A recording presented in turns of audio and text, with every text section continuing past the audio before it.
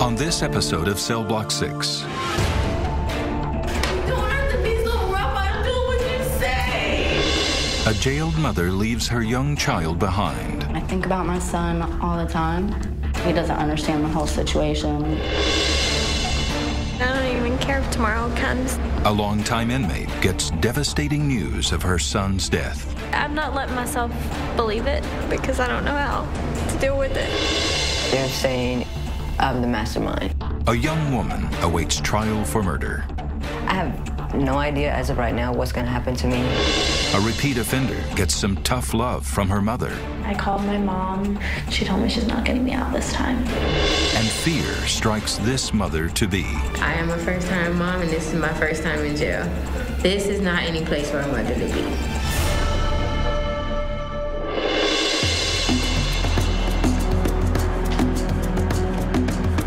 Vanessa has been arrested for a DUI, a probation violation. processed here at the Gwinnett County Jail.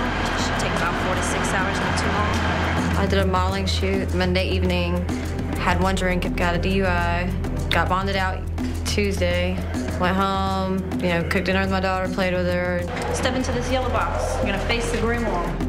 Got up this morning, and then went to probation to pay more on my fine. And then my probation officer asked me if I had got any new arrests or citations, and I lied and said no. You have anything on you that can poke me, stick me, or hurt me in any way? So, here I am. So I've been to jail approximately 25 times. I've bonded out every single time. Over the years, Vanessa's charges ranged from simple traffic offenses to theft. Put your hand on the wall.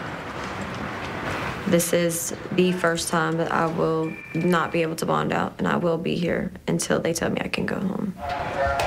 From here, lean forward, touch the wall like a push-up. When you know that you can't go anywhere, that's the worst part for me. 30 days, 60 days, 90 days. Look at the camera. Don't blink, don't move. Hold it for about five seconds. I guess I will be a resident here.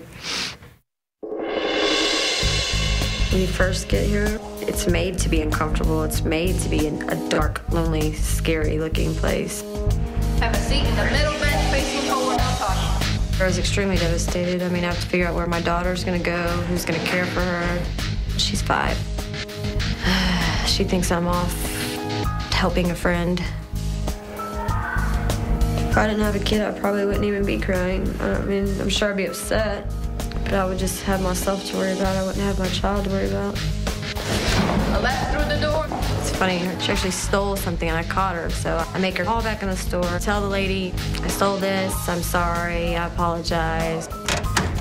I discipline and I do all this, and then here I am in the timeout spot. And I actually drove her to here that night and I said, This is this is timeout. I was like, This is jail, this is where people go to steal. You know, and she was, Mommy, please don't leave me here. You know, she was so upset. You know, she might have to come like actually visit me here. I have a real life outside of here, and that all comes to a halt. And all I can do is communicate through a collect call to someone is to try to get everything in order in a very short period of time. Mom, it's me. I'll try back in a second.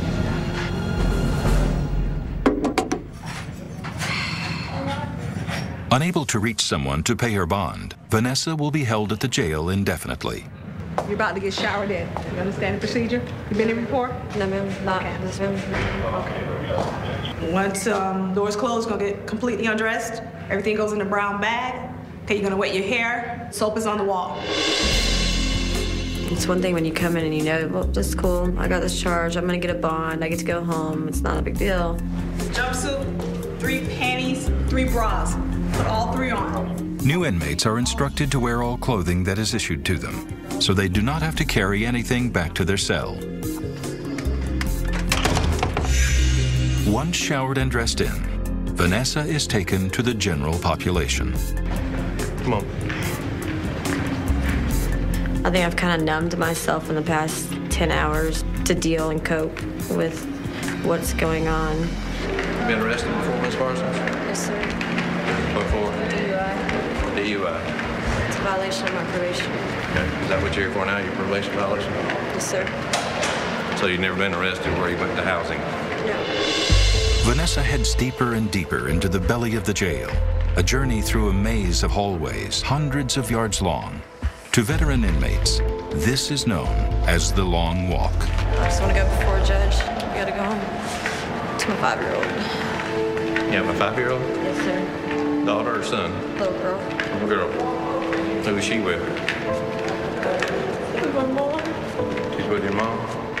I'm sure I'll break down 10 more times before I fall asleep tonight. Thomas Central, can I have Annie's outer door, please? I can only cry so much. Just trying to keep it together at this moment. I have too much to risk. I have too much to lose. And it's not me, myself personally, it's my child, you know. She's the one hurting. She's the one who's going without. She's the one that doesn't have her mother. And these are the consequences.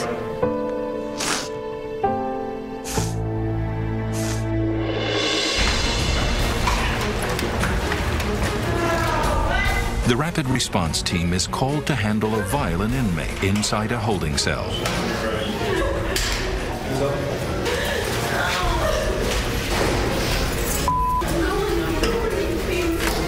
The incident started off with RT being called out for escorting an inmate who had recently been brought back into the jail, who was a previous high-risk inmate. She demonstrated the ability to disrupt the unit, so RT was called out to escort the inmate through the booking process. The reason there are so many deputies is because we're trained to take control, i.e. legs, arms, head, so that it diminishes the amount of damage that a person can do to themselves or to one of the deputies. Go take your cuffs off. She wants to act up. That's y'all want to act up. I ain't his. Put your hands out, and relax. Even though she kept telling us that she didn't want to fight, that she was tired, at any time somebody can change their mind and a flip of a switch can go from being docile and non-combative to someone that can hurt someone.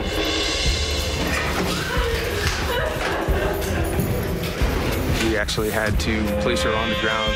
Once we had complete control of her, she was placed into a housing unit with no injuries to anyone involved. And she stated, I'm done, I'm tired, I, I, don't want to do this anymore.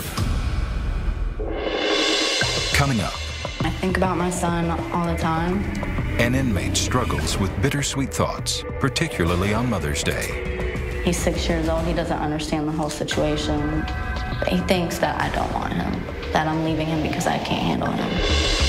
Then, They're saying I'm the mastermind. a woman accused of murder begins to unravel. The weight of everything was on my shoulders. I completely broke down then. And later, I am a first time mom, and this is my first time in jail. a woman eight and a half months pregnant is brought in for battery. My OB told me that, you know, it was any day now, so it makes me nervous because I don't know when it's gonna start.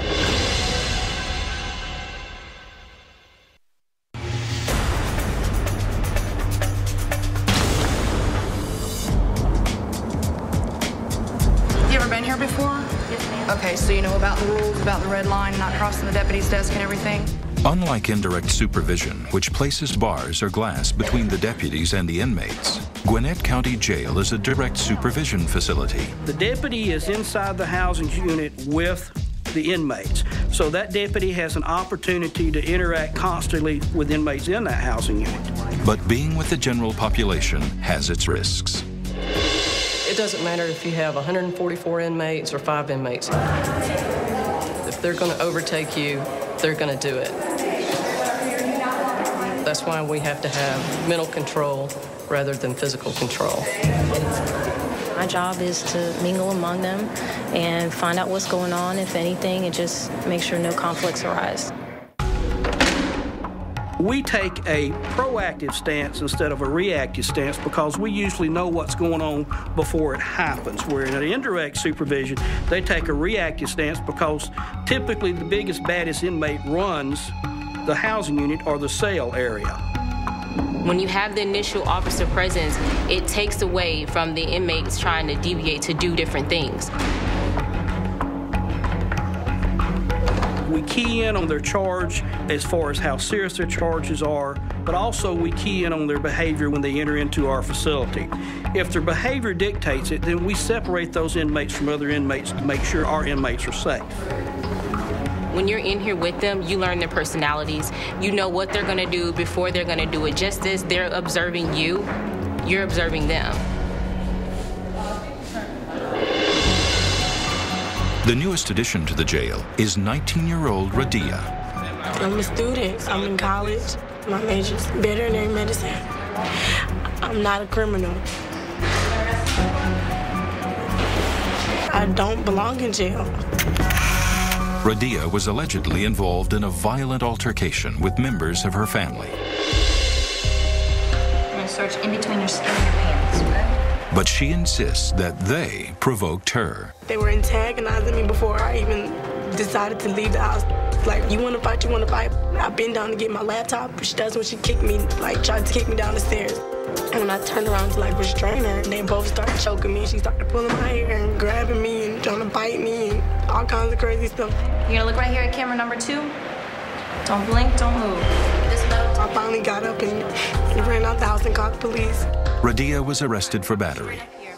Because a younger family member saw the incident happen, she is also charged with third-degree cruelty to a child. They said just because I'm the one called, it, that doesn't mean that I was the one that was a victim. So I'm still the one who got arrested. It is now time for Radia to be fingerprinted. These prints, along with her permanent record, will remain with her for the rest of her life. Relax your fingers. If they do have to be fingerprinted for the offense that they committed, then we use this machine. We don't use ink anymore, it's all computerized. I'm gonna roll each one of your fingers, starting with your thumb. Relax your wrist. All of those records are kept, and in the future, if they are re-fingerprinted again, we can verify people's identity. That way we can see if they're using false names, check to see if they have any active warrants. Back in her holding cell, Radia tries to call friends to bail her out. Nobody answers the phone, nobody responds. And I'm waiting on people to come, waiting on people to come. Nobody came. Radia was detained for 26 hours and was released when a family member bonded her out. The next woman to arrive at the jail is putting up a hard front. I don't like to cry. I've cried too much over the last month. I'm cried out. I have to be tough in this place. Ashley is a 24-year-old mother who's been arrested before, this time for possession of marijuana. I'm religious and I believe God caught me quick, yanked me back. Watched all the people around me that I hurt, that were confident in me, that I was gonna do something good. And seeing the heartbreak on their face made it 10 times worse. As I was being patted down and searched for whatever, it's really degrading. Yeah, it's taken some toughness out of me. I think about my son all the time. He's six years old. He doesn't understand the whole situation. Tried to hand him over to my dad. It was very hard. He broke down. My son cried for two hours. Kids don't understand. They think that if you make a mistake, that you don't want them. Or my son said that I don't want him. He thinks I'm in here for smoking cigarettes. He thinks that I don't want him. That I'm leaving him because I can't handle him. He thinks he's bad, and that's why I don't want him. I want him more than anything, anything. Have you been in here before? Yes. I will never get to see him in, in here. Unfortunately, my mom has him right now, and she won't bring him up here. So if I'm here for a year, I won't see him. I miss him so much. I miss him every day. Because Ashley has violated her probation, she has no bond, and she is quickly processed into the general population. I'm going to go over a couple of the rules with you. Um, one of them is going to be you do not get under the covers. You cannot get under the covers at any time until the deputy calls lights out. We need to make sure they're breathing. We also need to cover uh, do not lie. That's pretty self explanatory. If you lie, you're just making a problem more a problem. That's seriously a rule. Ashley chooses to keep her distance from other inmates as she struggles to adjust to her new surroundings. I try to stay away from everybody in here because I just don't like hearing about drugs all the time. I don't like hearing about violent things that other people have done. I've never been motivated to do anything before, but get high, but to drink. Every other time that I've been in trouble, I've just been like, okay, I'm in jail, I'll get out.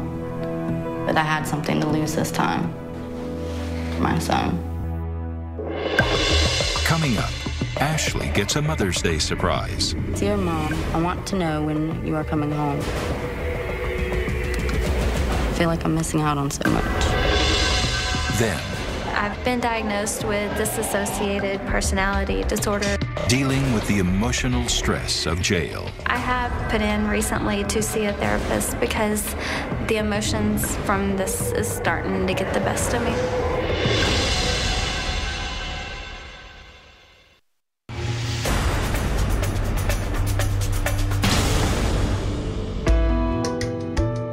Mother's Day. An emotional time for Gwinnett County Jail inmates. When Mother's Day happens around here, you have to question whether it's something that you want to acknowledge with the female inmates, given the fact that they are not at home with their children. It was a very emotional day for many of the women in the unit. I think about my son all the time. It's stressful. It's really stressful. I feel cut off because it's expensive to make collect calls and can't talk to my son. For Ashley, the months away from her six year old son poses a harsh reality on Mother's Day. He thinks that I don't want him, that I'm leaving him because I think he's bad. And that's why I don't want him. I want him more than anything, anything. But today, Ashley has a Mother's Day surprise waiting for her. A letter from her son that brings out the smile that constantly eludes her. I love it. Dear Mom, my spring break was good. I want to know when you are coming home. I have wrote something for you for Mother's Day. How are you? Doing good? I've been thinking, dreaming, and drawing about you. Love, Micah. I try to pretend like no holidays are going on. I feel like I'm missing out on so much. I love him.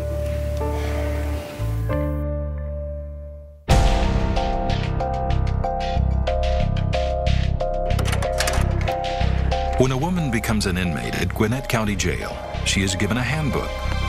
Every jail rule and procedure is laid out in these 43 pages. Longtime inmates like Carrie have each one committed to memory.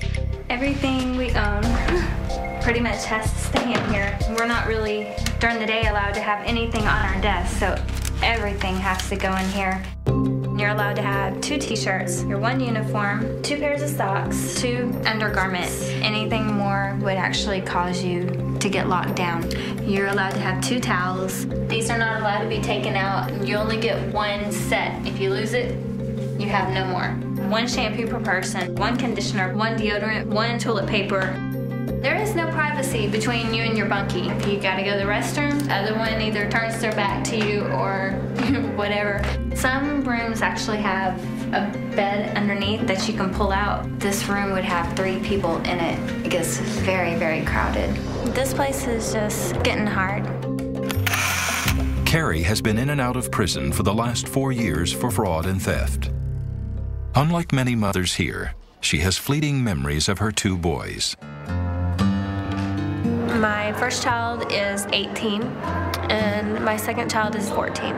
The last time I saw my children, 36, was when I was 32. When I went to prison, my ex-husband sent me papers taking full custody away from my kids. He printed one of my mugshots and posted it on the wall. And every time my kids walked by, he made my kids stop to look at that and say that they never wanted to be like me. She's one of the inmates that when she came in, she needed a lot of uplifting. For Carrie, I think being inside a cell, um, sharing a roommate, I think that was like a total shocker for her. She never really wanted to come out of her cell a lot. She spent a lot of time on her bunk. One day I actually pulled her out of her cell and asked her to come and speak with me, and she cried. It was like a lot of depression that she was going through. You usually look forward to free time, but it's just getting to the point that you don't even care to go out for that. Some days I'm able to do my famous, you know, fake it through the day type of thing. All I can do is pray that tomorrow's going to be better. But I don't see it, you know? One of the things that we offer in the facility is we have therapeutic groups in the housing units. Oftentimes you can see the bond develop between those ladies and they really work as a support system for each other during the time that they're here. I can sit here and tell you something that did happen, and it's like I'm talking about somebody else because I can't, I have a hard time relating those feelings to myself. Right? Yeah. And I've actually been diagnosed with dissociated personality disorder to where these things happen to somebody else. Either I'm very, very happy, or you could do the slightest thing, and I'm just over the top with it. Carrie suppresses memories of her past, a past filled with physical and emotional abuse. Sometimes something will happen out at Freetown, and it will just bring a flashback of something that happened, and I can't push it away. It's just really getting to me. And then when I go to sleep, sometimes things that I didn't remember come back. When I was diagnosed with this, my therapist told me that when these things start coming to be real to me, that I was going to have a breakdown. And now that these things are coming to me, I have put in recently to see a therapist because the emotions from this is starting to get the best of me. Many people come in here and have unresolved issues where they feel very angry at their family members for things that have happened to them in the past. I wrote a letter to my brother and just needed to put out there the things that I am sorry to him about. I have so many things that I need to say to you, and I don't know where to start. I sit here and wonder how you turned out to be such an amazing man and how I turned out to be such a failure. I'm really wondering if you'll ever be able to be proud of me. You have an amazing family, and I've lost mine. I am so alone, and it's a big slap in the face to realize that I am the reason and no one else. I have hurt my boys by my actions. Part of me is dead without them. Sometimes I feel like I'd be better off that way because I will never get to be a part of their lives. Coming up, Carrie gets tragic news that her son has died. He had been driving home and hit a tree head on. In a heartbeat, I would have gladly, you know, taken his place.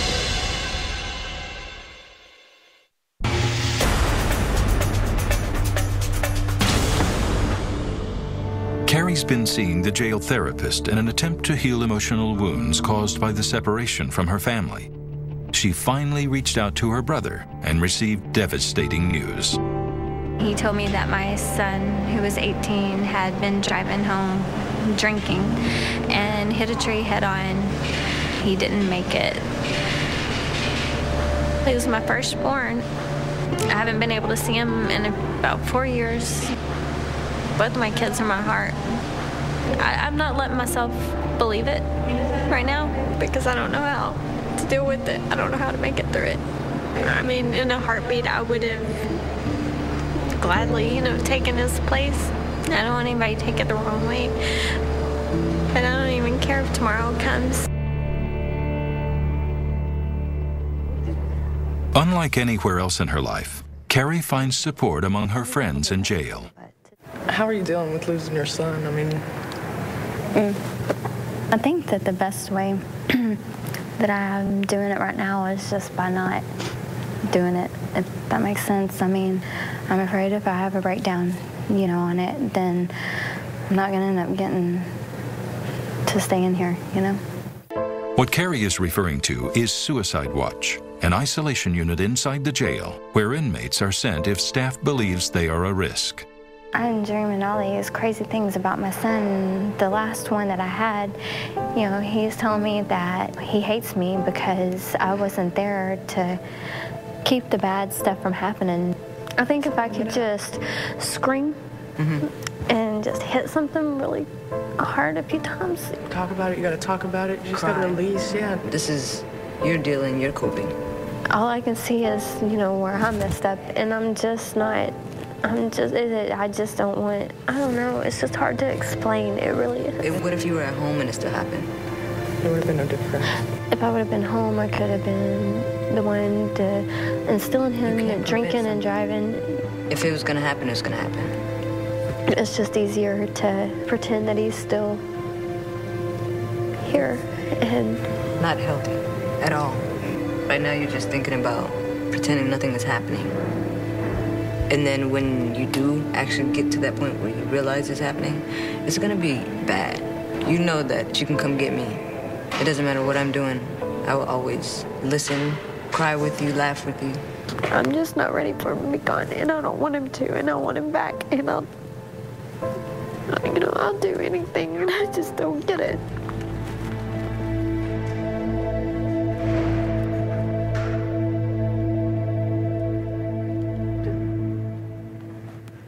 Carrie's friend Lorna also feels the pain of missing her family. I'm not lacking anything except my family not being with me.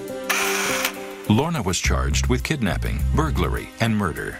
She's been in Gwinnett County Jail for two years.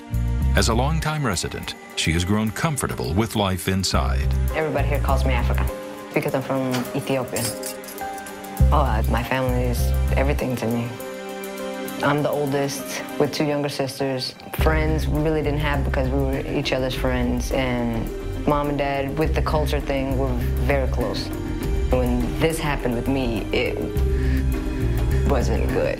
On March 25, 2008, Lorna and her co-defendants allegedly broke into the home of an Ethiopian businessman.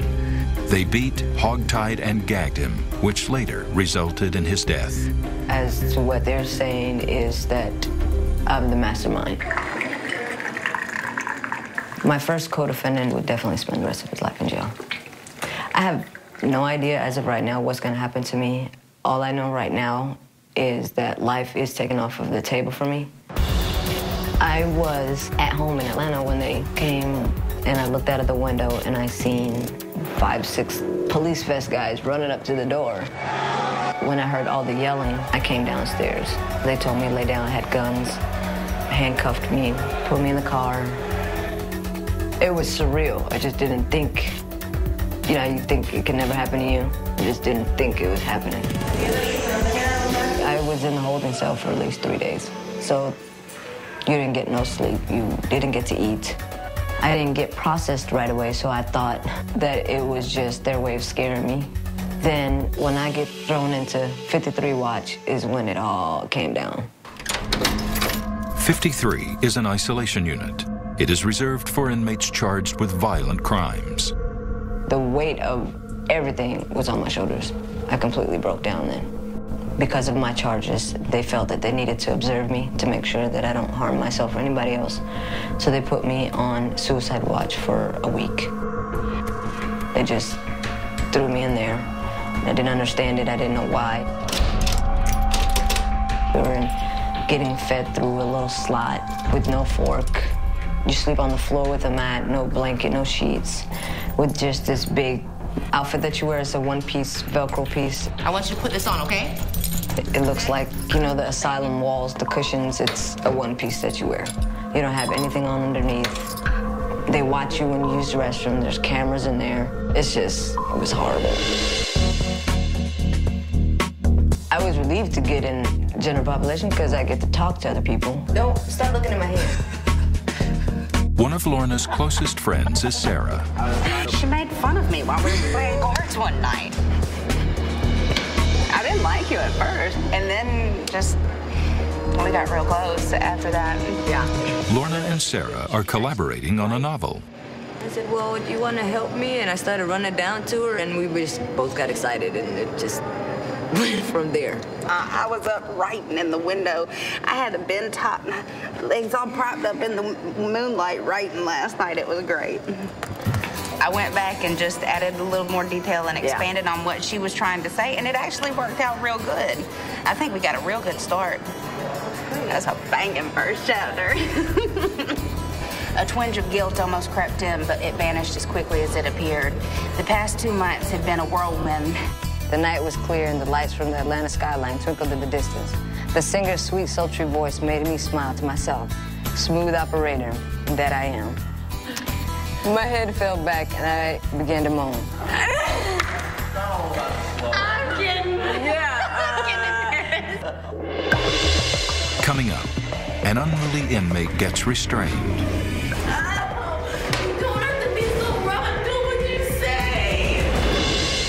A young inmate's mother tries to teach her a lesson. She told me she's not getting me out this time. My mom just kept telling me that she's doing it because she does love me, and it was just hard to hear her because I could hear the pain in her voice.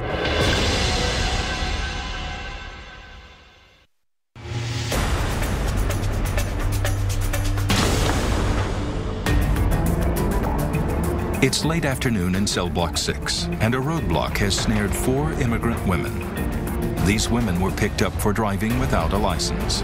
Roadblocks are basically checking, making sure there's a licensed driver and that they have insurance. That's all roadblocks are for.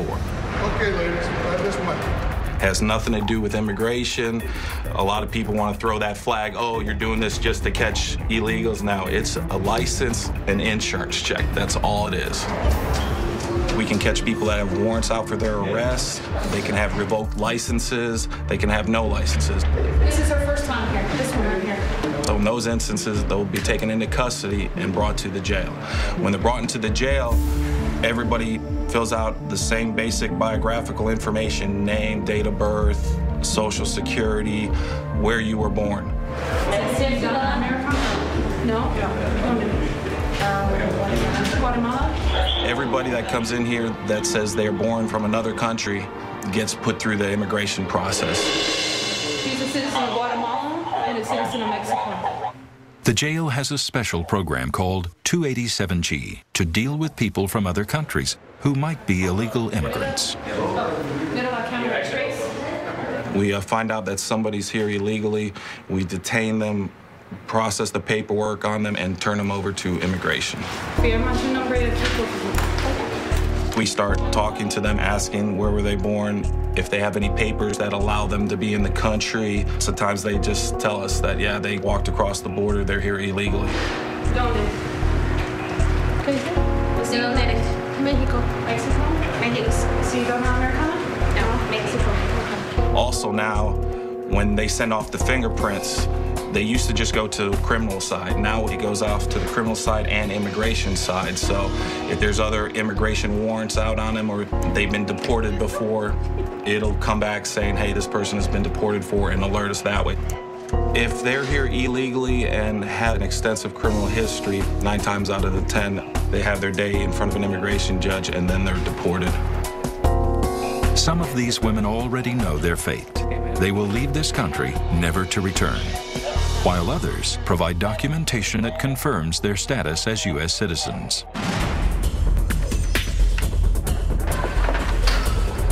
Meanwhile, 19 year old Nicole is the next detainee to arrive at the jail. Walk ahead. It's my third time in jail.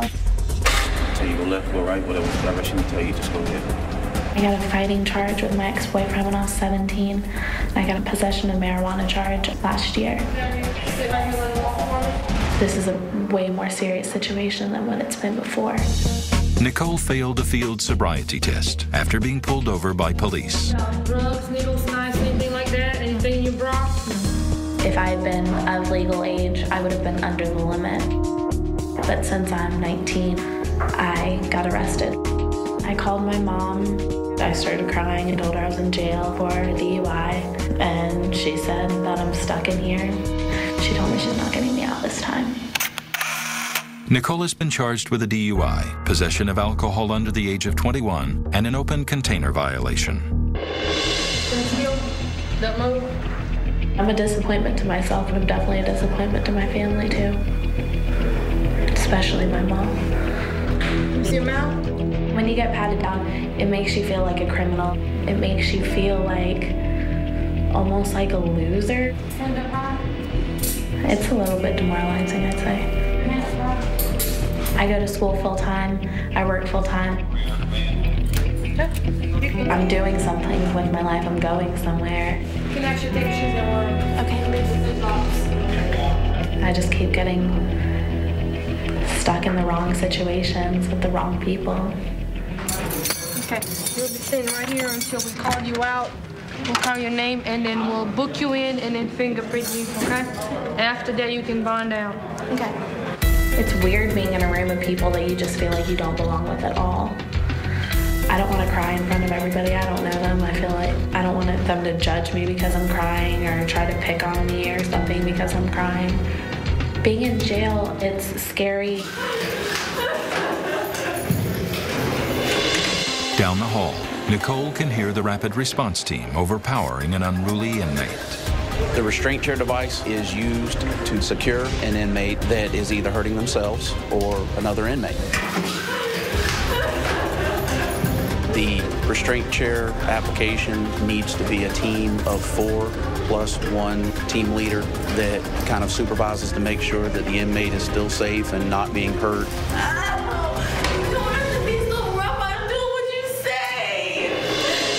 Restrain the hands, restrain the feet, and restrain the trunk area across the chest and the waist. Once they are subdued in handcuffs or restraint device, then that's when the nurse is safe to come in. All of that is supervised for any other possible attacks or signs of aggression. This inmate is placed in an individual holding cell. She can be left in the restraint chair for up to four hours. Let me see your hands. Back in the holding area, Nicole is being fingerprinted. You seem nervous. You're very tense. This has to be done correctly. It's very important that we get good prints, okay? That's a good one. It's really scary being here and not knowing when you're going to get out, what you're going to do when you get out. Nicole could spend up to 48 hours in the holding cell if she does not bond out. From there, she could end up living in the general population. I just hope I don't have to be in here for very long. Despite her repeated pleas from Nicole, her mom insists she learn her lesson and remains adamant about not bonding her out. And my mom just kept telling me that she loved me and she's not doing it because she doesn't love me. She's doing it because she does love me, and it was just hard to hear her because I could hear the pain in her voice.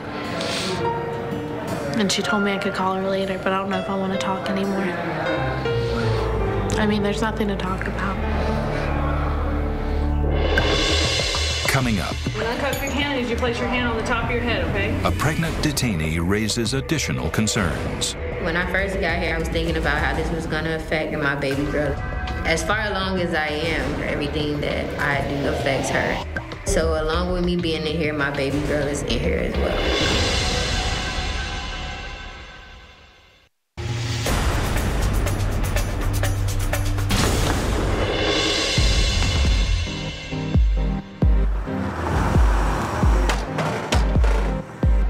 The next detainee to arrive at Gwinnett County Jail presents a special situation. 24-year-old Trakia is pregnant. I am eight months and three weeks. Right now, she is far less concerned with being in jail than she is about protecting her unborn child. I'm nervous and I'm, you know, aggravated. I am a first-time mom, and this is my first time in jail. Was hoping that she'd come early, but not anymore. And I wanted to wait till I get out of here. Trakia is charged with simple battery and disorderly conduct against her friend. we got in the car and we argued halfway to his job, and we got out the car and we was arguing and carrying on, and some people was driving by, and they, I guess they called the police. Why? When they came, I told them that he never hit me. I did all the hitting. So they said they just had to bring me because I hit him. Pregnant detainees receive special treatment. Usually, when a visibly pregnant female comes in, um, we always handcuff them in the front. To protect her, should she fall, she would be able to use her hands. When I first got here, I was thinking about how this was gonna affect my baby girl. As far along as I am, everything that I do affects her. So along with me being in here, my baby girl is in here as well. When I cuff your hand, as you place your hand on the top of your head, okay? I placed her on the wall and handcuffed her since she's not able to face the wall. I went ahead and had her put both of her hands on top of her head just for security purposes. The process of coming in here is awkward. Like, you know, with them touching and feeling and show different parts, you know, to take pictures. Look at camera number two. All right, go ahead and we'll walk this way. Usually we try to get her through the process a lot quicker. If necessary, depending on how far along she is, we'll get her down to medical so she can be down there and observed by the medical staff instead of sitting down here for however long it takes to get them booked in. Do you have any medical problems or taking any medications right now? No. Is it your first time in here? Yes. Do you have any other issues besides being pregnant? No. With the medical exam complete, Trakia is taken to a holding cell where she spends the next three hours waiting to post bond. Go on in here and have a seat. Being in the holding cell right now is just weird. Women hover around Trakia asking about her baby. She'll have nothing to do with it. They're talking about different criminal acts, and then they ask me questions about my situation, and I, I don't really want to talk. I just kind of give them a one word answer and kind of hope that they leave me alone. This is not any place for a mother to be. Trakia's apparent indifference to being here comes partly from sheer exhaustion. I guess I hit my peak earlier today. You know, I flipped out and was fighting and carrying on and things like that, but look at what that got me. I shed my tears, but I don't know what else to do. After deputies discuss the situation further, they realize that it is in Trakia's best interest to release her. I came in a little bit before one, so it's what about 4:30, 5 o'clock now. So I was in there about four hours. Originally, my bond was set for $2,600, but I got this paperwork saying that I was released, which means that I can't get in any more trouble, or I will have to come back here. My baby will be about five or six months by the time I go to court for this situation that happened before she was even born. Okay. Exit right. I do not want to see this building ever again, outside or inside. Never again.